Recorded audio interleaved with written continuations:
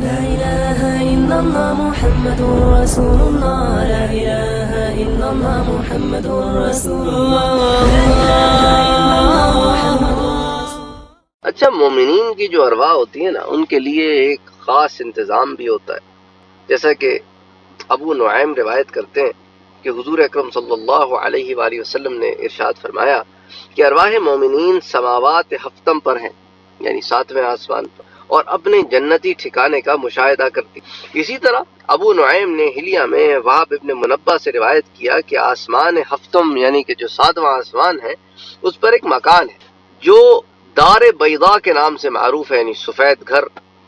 اس میں ارواح مومنین جمع ہیں اور جب کوئی نئی روح آتی ہے، تو یہ ارواح اس روح کا استقبال کرتی ہیں۔